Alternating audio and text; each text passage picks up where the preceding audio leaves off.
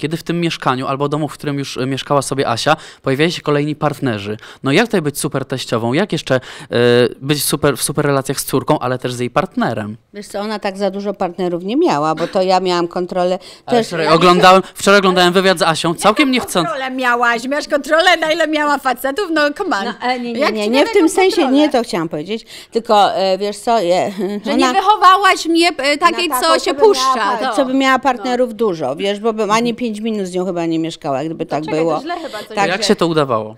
No po prostu porządna dziewucha i tyle, no. Dziewczyna, nie, w porządku dziewczyna, bardzo, naprawdę, powiem Ci, taki, taki ma szacunek e, w Los Angeles, że e, każdy, kto ją widzi, i zna i mnie poznaje, to całuje mnie po rękach, że za Aśkę właśnie, że tak cudownej i pro, e, fajnej dzie- dziewczyny, która idzie Dobra, prostą. nie cukierkuj nie, nie, tak. e, w- ja nie jestem taka, co cukierkuje, więc głupot nie mówię, kłamstwa nie mówię, bo dopiero robiłam chrzest w Jerozolem, więc będę zawsze mówić prawdę, więc dlatego powtarzam jeszcze raz. To jest najporządniejsza dziewczyna, jaką z jej towarzystwa ja znam.